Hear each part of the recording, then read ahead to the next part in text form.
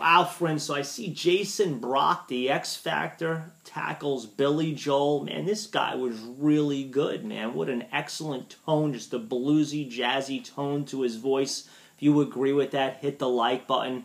Give me your comments. The reality, friends, is only God from above can strategically and download a gift for someone like Jason to become a great vocalist. You have to have the gift, friends. That's the reality. There's some people that have the gift or the ability in math or you know uh, business, entrepreneurship, acting, vocals, uh, etc., athletics. You know, but you have to have the gift, and every God has a gift and a plan and a will and a talent or talents for everybody under the sound of my voice. And you just have to find out what it is. And you know you shouldn't strive to become the best but to become the best you can be. Now maybe you'll never be on the x factor but maybe god's called you to be a great mother and your child will be the next president of the united states hope you know maybe 30 years from now. But hey the god the first plan or desire god really has for you he desires to be in the center of your life. Remember God comes by invitation only. He'll never blow or knock the door down in your heart. God didn't create robots. God gave you a free will.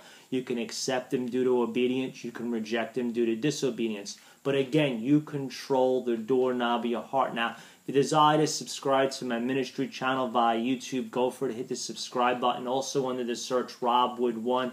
I have many other Christian preaching, teaching, ministry videos via YouTube where I do discuss, talk about the Bible, Christianity, heaven, hell, angels, demons, etc. John chapter 3 in the Bible, friends, in the New Testament, the book of John, 3rd chapter, 16th verse, simply states, For God so loved the world, he gave as a gift his only Son Jesus that if you would believe in Jesus, you would not perish, but you'd have eternal and everlasting life. And, you know, the only way you'll have the assurance and insurance that when you take your last breath is by having Christ in your heart and your life submitted to Jesus, my friends. He comes by invitation only. If you want to recite this simple prayer after me, it's not in reciting the prayer, it's the faith behind it. Say, Jesus, thank you for dying on the cross of my sins. Thank you for being my Lord and Savior. If you prayed that prayer, God bless you. Heaven applauds you.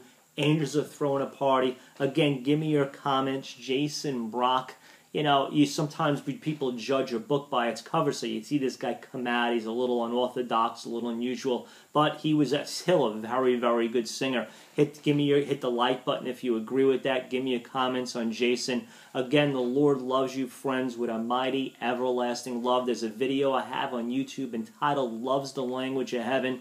Check it out. Desire to subscribe to my ministry channel. God bless you. Also, under the search Robb Wood 1, I've got many of the ministry videos. Jesus loves your friends. Give him a chance. You'll never be disappointed. It'll be the greatest decision you ever made. Be blessed.